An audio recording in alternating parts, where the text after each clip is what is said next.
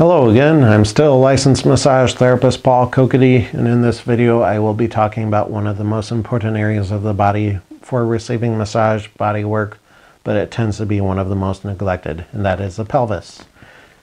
Here I have a female pelvic model that I will use to help illustrate uh, a few things through the video. Now this video will be mostly talking about general issues that can help both sexes uh, for a variety of issues that you just don't realize massage can be used for helping out.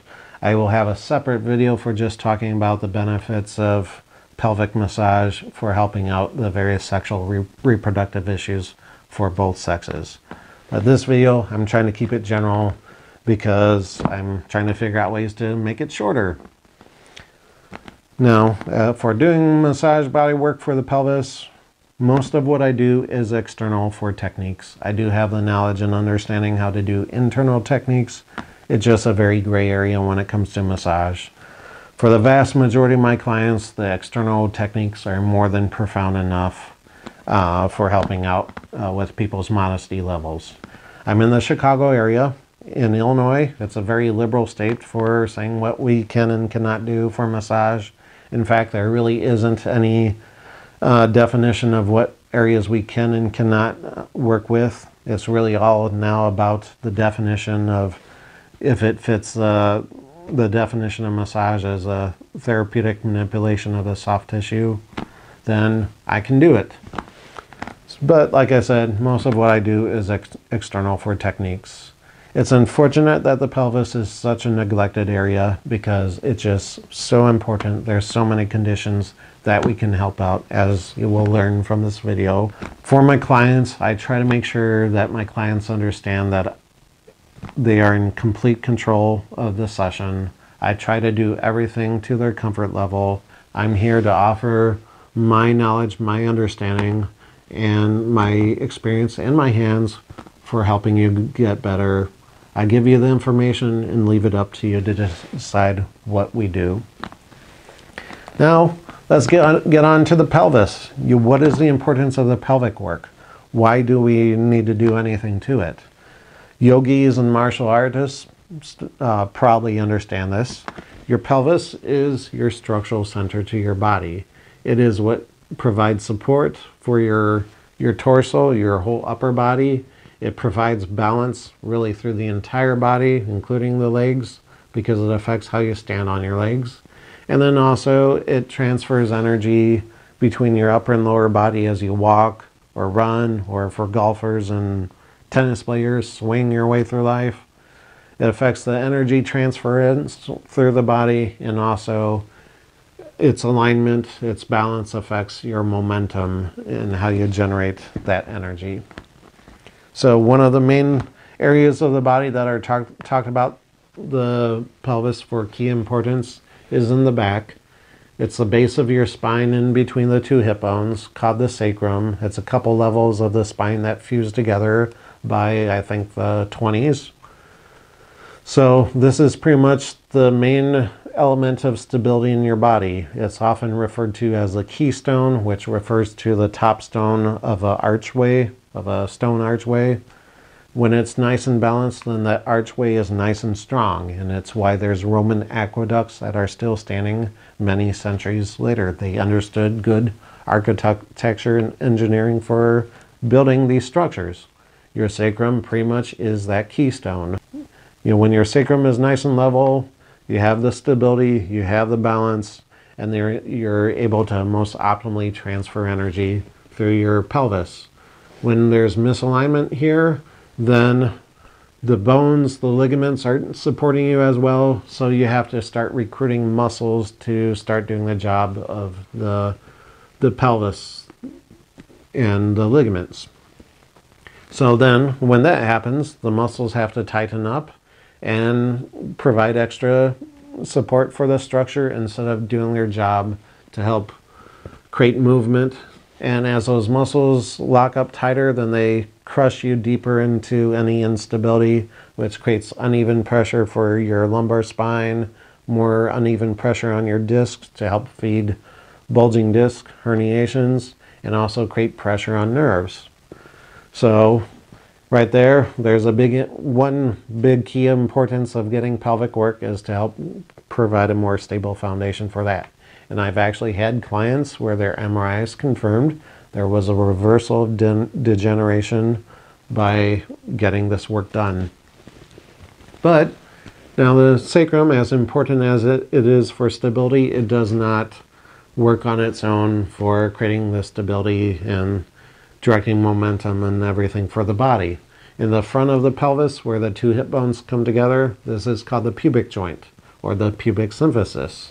Where the back is about stability, your front heavily impacts the momentum of your body because, as I believe, there are so many muscles that originate here or cross nearby that any way it's distorted affects all those muscles and the various bands of tissues that go out from there.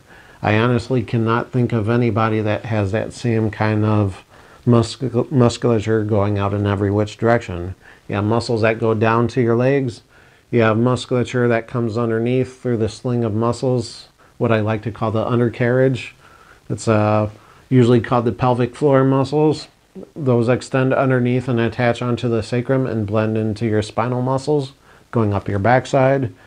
You have your abdominal muscles that extend upward as well as oblique or diagonal muscles that wrap around that tie into other tissue and muscles that connect onto your shoulder blades and the back of your head and neck. So any way this is distorted pulls on all those muscles to affect alignment, but also affect how those muscles function. So what I talked about uh, or what I'm about to talk about, you know, this plays heavily into habits. So, you know, what's the biggest thing that impacts our body for helping us be balanced? It's not really injuries, it's not really pregnancies, although those do have an impact, but those are not universal that applies to everyone. What applies to everyone that everyone fights for getting better is our habits in particular our asymmetrical habits because those create uneven pressure on the pelvis affecting the stability and how it can uh, create and direct momentum. Those asymmetrical habits are leaning to one side, whether you're sitting on one hip or being rolled onto one hip, or always leaning to one side, or in the case of sleeping, it's side sleeping, in particular if you always side sleep on the same side. What happens down in the pelvis is whatever side you lean to, that hip gets tucked under, pressed underneath the pelvis into the pelvic floor musculature. So it distorts the, the pubic joint in the front. It distorts the SI joint, the sacroiliac joint between that hip and the sacrum. And that hip joint will get collapsed under. The hip bone will get collapsed under and then all this tissue starts to tighten up just as it does anywhere else in the body. As that tissue tightens up, then it prevents the hips from coming back into balance and keeps you distorted. So there your stability is compromised, your balance is com compromised, leg lengths are, are thrown off, uneven pressure in your discs and your spine is created. And then also all the various organs down here in your pelvis are bound into that tightness so, so you can get urinary issues, reproductive issues, and elimination, defecation issues, what I like to call the poo factor, all that gets affected. But besides those organs being affected, there's another really important system that is affected in the body, and that is your nervous system. And that's because in the back of the pelvis, you have the sacrum, and you, you have your spinal cord that comes down through the spinal canal, through the spine, and you have these supporting structures around it called the meninges. Those meninges actually come all the way down. The outer sleeve that surrounds your brain and your spinal cord, I talk about it in my craniosacral video. It helps to keep your nervous system, your central nervous system separated from the rest of your body and it helps to keep the fluid in around your brain and spine. It goes down to the sacrum and attaches here. This is the tissue that you actually feel your headaches at because your brain has no perception of pain, and also the deep backaches. It's in this outer sleeve called the dura mater. Any way you're distorted down here pulls on that dura mater to create deep back pain or actually can pull up into your head to help feed headaches and migraines. In fact, all my headaches and migraines clients, I really have to do pelvic work to create the most longest lasting you know, and profound changes possible. But yeah, besides the, creating pressure on the brain or creating headaches, it can also distort your skull to help feed TMJ issues and possible vertigo tinnitus problems and even some uh, visual problems or eye strain and even some sinus pressure. Crazy as it is, I've actually done pelvic floor work and had feedback that it helped release people's sinuses. But anyway, that's the outer sleeve and then the skin of your brain actually continues down as a string that goes all the way down to your tailbone. If it was not there, then every time you bent over and stood up, your spinal cord would bunch up. So you have the string that goes all the way down to your tailbone to help anchor your spinal cord down through your spine. And because of that, any tailbone injuries, any distortion in your pelvic floor, distorting your tailbone, actually has a direct effect on the skin of your brain. So, very important system. A lot of people don't realize pelvic work helps with headaches, migraines, but it does. And indirectly, women with cesarean scars or actually any abdominal scars low in the abdomen, the cesarean scars pull into the uterus, down through the lady parts, in through the pelvic floor, and up through the spine. I've actually had more than one woman where I had to work on her cesarean scars to help her out with the severity of her headaches and migraines. So, there's a major thing for the nervous system that is benefited. Also, the sciatic nerve if it gets pinched from all the tightness here, then you get sciatic pain.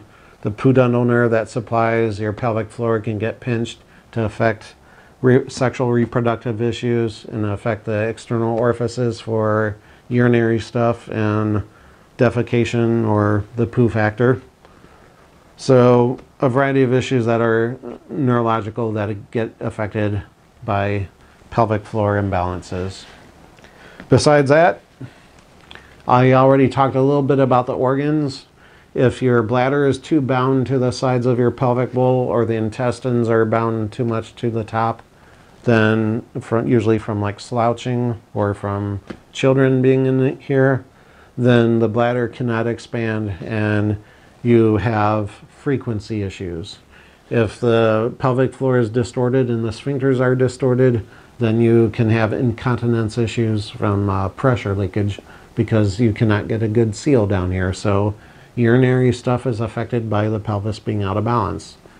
The sexual parts I'll skip for this the, um, because that can be a video of, it, of its own. Already hinted at the defecation, elimination, poo factor.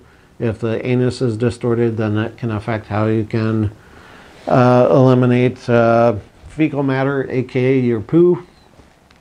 So Already I've talked about so many different conditions that are affected. Chances are you can relate to some part of this or you have loved ones that do. And just think, this just is not talked about for massage to help you for these conditions, or many of them. You might have heard of like some stuff for like the disc issues, but these other issues, it's just not talked about. In allopathic medicine, all it really knows to do is to prescribe or cut you to do stuff or to put mesh in here, which uh, sometimes a prolapsing is just from tightness down in the pelvic floor pulling parts down into it. So, so many things that can be helped out. Uh, this video, I'm skipping talking about techniques because already it's long enough, uh, about 15 minutes already. So uh, I'm not talking about techniques, plus they vary person to person and session to session, so I'll skip those. Uh, another video, please stay tuned. The next video I'll, I do will be on sexual reproductive uh, health issues that are helped by pelvic work. Please contact me if you have any, any questions, and I look forward to helping you in any way possible. Bye.